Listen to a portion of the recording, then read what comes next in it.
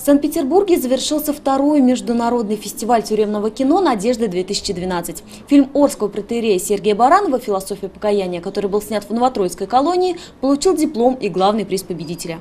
Не жалею, не зову, не плачу.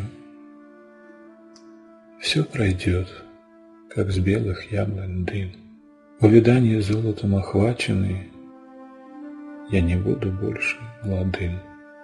Международный кинофестиваль он уникален тем, что это единственный в мире именно фестиваль э, тюремных фильмов.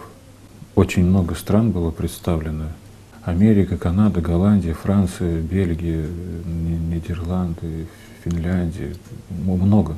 220 фильмов было представлено.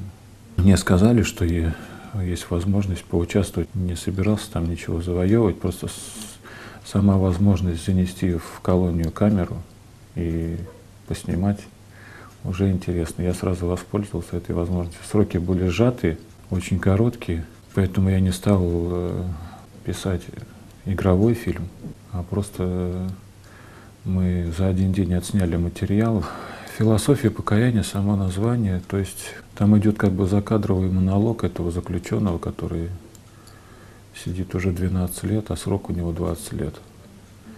И знаете, у меня есть преимущество в тюремном служении то, что со мной говорят о том, о чем никогда они не будут говорить между собой или с администрацией, потому что я священник, и я исповедую этих людей.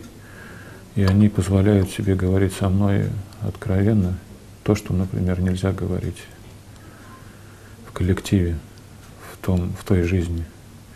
И поэтому я знаю многие тайнички, может быть, такие сердец их. Там действительно есть во многих покаяние, есть во многих желание исправить свою жизнь.